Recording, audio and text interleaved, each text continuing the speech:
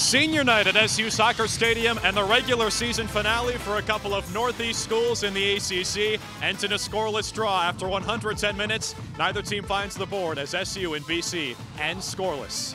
Welcome to SU Soccer Stadium, everybody. Drew Carter alongside Dana Gray. And Dana, it was fun at times. Syracuse really dominated the chances, but neither team could find the net. It was just a great ACC match and exactly what you'd expect. Lots of shots, lots of physicality, some incredible goalkeeping, but we ended a nil-nil draw. In the first half, we saw a case of that incredible goalkeeping. Watch Antonio Chavez Borelli, the goalkeeper for Boston College. Well, he comes all the way out, greets it with his head, and Buchanan SU's leading goal scorer tries some trickery. That ball's going in, but some help from the defense. Borelli again, and Raposo just can't get it through. It was the story of the night for Syracuse, and you could tell through the first 10 minutes, just inches off. Antonio Chavez Borelli went Superman there. Speaking of Superman, Kamal Miller one of many players getting physical tonight. Yeah, things got really intense as that first half wrapped up, but the chances kept coming for Syracuse, but it was the same old story.